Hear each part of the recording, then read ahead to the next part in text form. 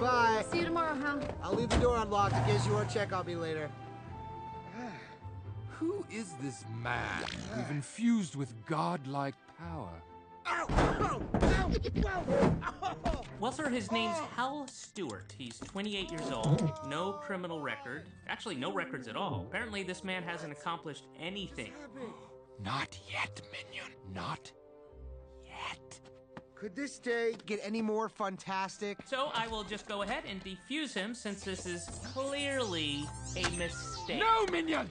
Something much more powerful at work here. This is no mistake. It's destiny. Hal Stewart! Prepare for your destiny! Hal? Hal Stewart? Am I saying it right? Stewart. Ah. Is this a robbery? Because the lady across the hall has way better stuff than me. Oh, look, it's House Stewart. Quick, the spray. Ah! Oops. All out. Well, use the forget me stick. Oh, right. Just look at him. No, he doesn't look quite the hero type to Oh, me. you're such a pill, minion. Potter couldn't ask for finer clay. I smell a hero. I smell something burning. I think it's working! Places! Places! Places! Places! Places! Places! You have your disguise.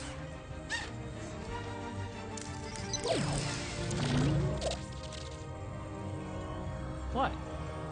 Wow, you look fantastic.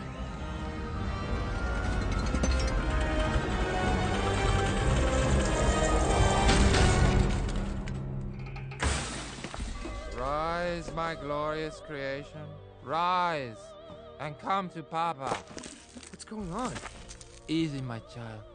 Who are you? I sent you to this planet to teach you about justice, honor, and nobility. I am your father. So you're like my space dad? Yeah, I'm like your space dad. And you are what? I'm your space stepmom. I've had some work done recently. Is this some kind of dream? This is a dream come true. You've been blessed with unfathomable power. What kind of power? Unfathomable.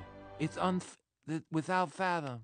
Wow. Yeah, we've come to guide you on your path to be Metrocity's new hero and battle the super genius of Mega Megamind. I know this is a lot to take in. It may take months for you to come to grips. No freaking way! I wasn't finished. I'm gonna be a hero! I'm gonna be a hero! See, Minion? He's perfect.